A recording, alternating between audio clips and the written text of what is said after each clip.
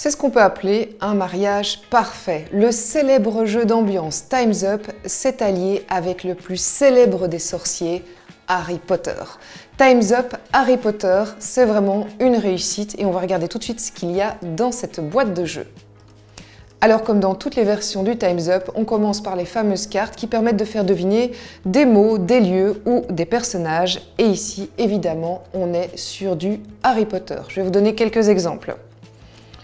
Regardons par exemple cette carte-ci et nous avons le centaure. C'est un personnage mythique à deviner et qui est dans l'univers évidemment des sorciers. Mais vous pouvez aussi avoir des lieux comme euh, la cabane d'Aride ou encore des personnages évidemment comme par exemple Ron Weasley.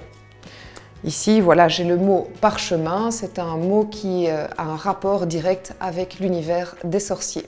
Dans la boîte de jeu, vous allez trouver aussi le célèbre petit sachet dans lequel vous allez pouvoir mettre toutes vos cartes, sauf qu'ici, il est siglé Harry Potter, il est très bien réussi et il est en tissu. Donc j'ai déjà mis quelques cartes dedans et on va en profiter pour aller chercher une nouvelle carte à deviner. On a par exemple ici Miss Teigne. Vous avez toujours le célèbre sablier qui permet de délimiter le temps pour chaque équipe et puis évidemment le petit carnet de notes pour mettre tous les points comptabilisés pour chaque équipe. Alors je vous rappelle les règles du jeu de Time's Up, cela se joue en trois manches. Pour la première manche, vous pouvez dire ce que vous voulez à votre coéquipier, votre coéquipière, pour lui faire deviner le mot que vous voulez lui faire deviner.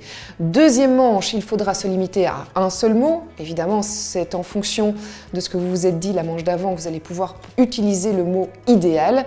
Et puis troisième manche, la plus difficile, il faut mimer, quoique on peut quand même apparemment aussi fredonner, c'est marqué dans le mode Time's Up Harry Potter est une vraie réussite, surtout si vous êtes vraiment fan de l'univers de notre sorcier préféré.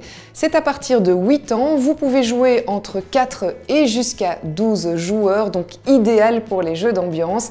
Et puis une partie dure en moyenne 30 minutes. N'hésite pas à t'abonner, à liker et commenter cette vidéo et on te dit à tout bientôt